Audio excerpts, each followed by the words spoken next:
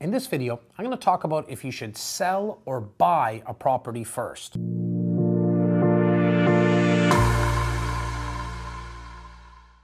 But before I do that, if this video resonates with you, make sure to share it with a friend, colleague, or family member. So there's really no easy answer to this question because on one hand, if you purchase a property before selling your current property, you'll have two homes at the same time.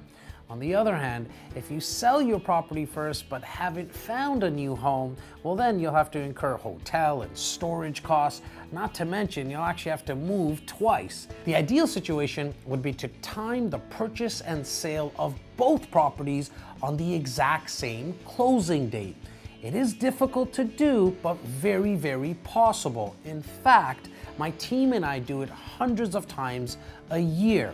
How do we do it? Well, first and foremost, we want to look at the current market conditions of the property that we own as well as the one that we want to move into.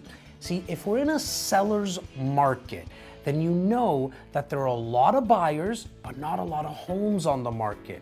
So you first want to go find yourself a property because the selling of your current home is going to be a lot easier to do.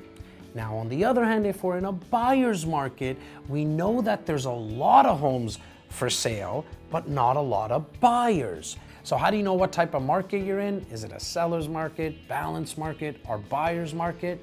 You always want to look at months of inventory.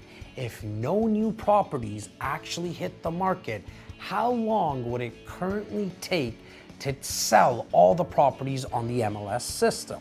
Because if you have months of inventory from zero to three months, you're in a very strong seller's market. Three and a half to about five and a half months of inventory, you're in a balance market.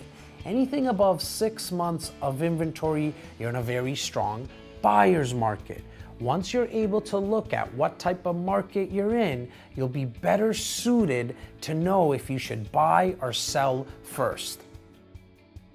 You made it this far, and I appreciate it. Thank you. I want to make sure that you get more value from my page. Click on the next video and share it with a friend and leave me a comment. All your feedback is greatly appreciated.